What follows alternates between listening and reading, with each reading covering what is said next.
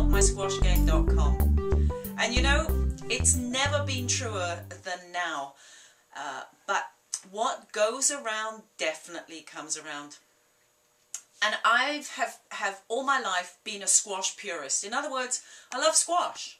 Um, and every time people have actually been playing racquetball, I've kind of tolerated it, but not thought of it as a serious game in the same way as squash. But now, now I can tell you, I'm looking at that game as being something that I could play and keep hitting balls for a long time in my life. And particularly with my sore knees, um, racquetball is looking very, very good. But it's not the same racquetball as North American. It's racketball played on a squash court. And I've got Fred Reid here, who's the national sales manager for Black Knight. And uh, Fred, I know you sell racquetball, uh, racquetball rackets and stuff. What do you think of this idea of us playing racketball on the squash court? I'm Barb. I'm excited. Uh, it's uh, I've found a uh, I found now a uh, a sport that I can continue when my my knees are shot and my and my back is gone. this sport will actually increase the longevity of, of squash court use in clubs. Uh, it's very easy to play and it's a lot of fun. Uh, I tried it uh, for the first time a couple weeks ago. Uh, brought some squash players out and uh, we had a ball with it. It was and and the the learning curve to play it is really really fast. And unlike North American racquetball, where as you got better, the rallies got shorter, with this game, it's like squash. As you get better, the rallies get longer. So it's it's it's going to be something that you can get a good workout with but not kill your body. And absolutely. And the, the one thing I did was I thought, well, this sounds great. And I had gone to the, like you had, gone to the English website. And as you as you pointed out earlier, it was, um, they've actually amalgamated. The, yes. So the, the, the Squash Association and the Racketball Association is amalgamated. So I thought, great, and I went and got myself a North American, a North American hardball, uh, a, a, a racquetball. ball. yeah. yeah, and I went on the squash court with it, thinking this was going to be wild. Wild? I couldn't control the ball at all. I mean, it was it was first hit probably would have gone out, out of the court. Well, it would have done if I if I hadn't realized what I had, you know.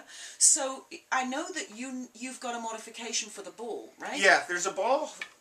There's a there's a special ball uh, that's going to be played, and it's and it's called it's a it's a racketball, and, and racketball, uh, this sport it, it's it's spelled R A C K E T B A L L, not R A C Q U E T B A L L.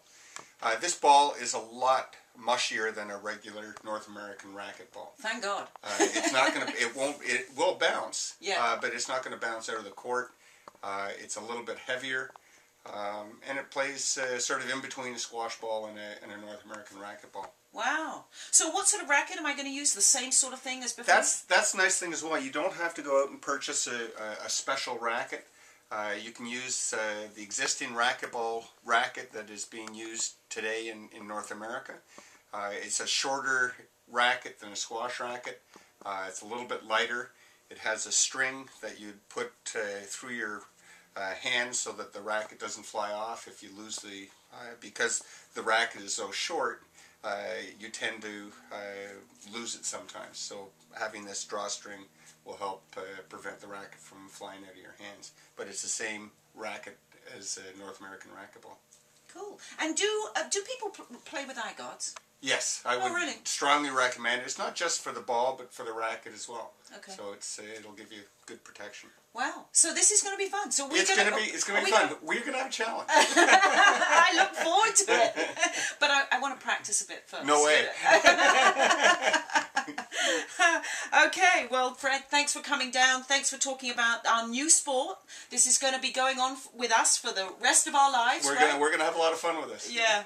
Good. I, I think it's going to be one of those things that uh, really will be interesting. And I work with a, a, a, group called CAAWS, which is the Canadian Association for Women in Sport, Active Women in Sport. And one of our mandates is to try and get the women between the ages of 55 and 70 mm-hmm. active.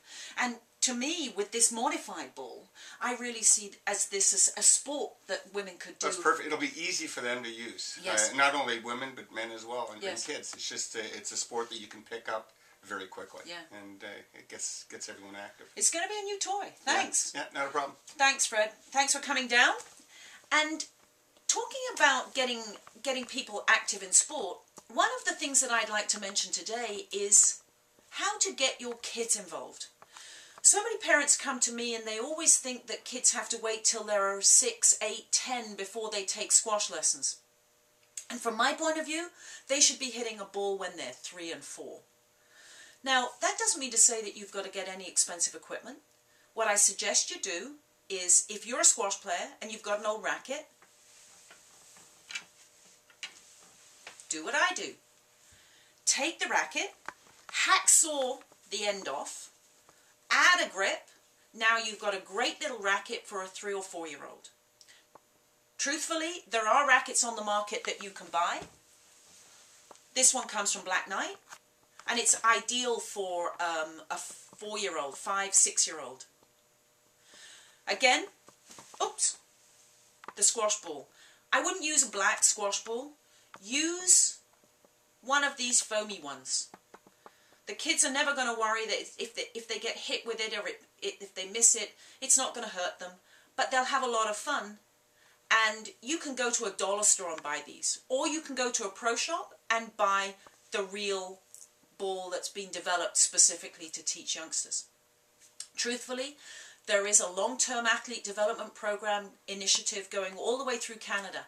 And the biggest thing that we know is if you do not give kids skills when they are young, they are not able to choose sports when they're older. So if they can't throw, if they can't catch, if they can't skip, if they can't run, um, you're excluding them from sports later on in their life. And from our point of view, sport is for life. So please get your kids out there. And they, they don't need to, to be hitting on a squash court. Let them hit on the garage door. You're not going to do any harm with this sort of foamy ball. Hi, so now let's go to uh, questions. And there's always, viewers, I encourage you to ask me any questions you like on any topic at all, and I will try and answer them. Um, you can go to racketdrills.com or you can go to helpmysquashgame.com and just write your question into me. Uh, I have this one here from, from one of our viewers who says, when is a turning let appropriate or not? And let's be clear about what turning is. Turning is about taking a forehand on the backhand side of the court or vice versa. So typically when you're doing that, your opponent has nowhere to go. So your opponent's not safe. So truthfully, I would say every time you turn on the ball, the potential is that you should ask for a let and your opponent should run over and say thank you very much and give you a let. Now, there's one time when, and I know what you guys are like, the biggest thing that you want to remember is this is about the rules, and the rule is about fair play and a fair outcome. So if the ball rolls into the nick, even though you've turned and even though your opponent could potentially be in the way, because you can't hit the ball, because it's unplayable, you cannot ask for a let in that situation. If a ball is a winner, it's a winner, whether you're turning, whether you're not turning. But fundamentally, if you're looking to turn on the ball, and it often happens on the return of serve on the backhand side of the court, my suggestion is, first of all, try not to do it. Secondly, if you have to, ask for a let because it's a safety let. And if somebody's doing it continually to you, I would suggest two things. First of all, thank them for not hitting you. And secondly, change your serve because typically it's the serve that's causing the problem. So lob serve rather than drive it and you might find that problem goes right out of the way. This is Barb Cooper from helpyoursquashgame.com signing off. See you next time.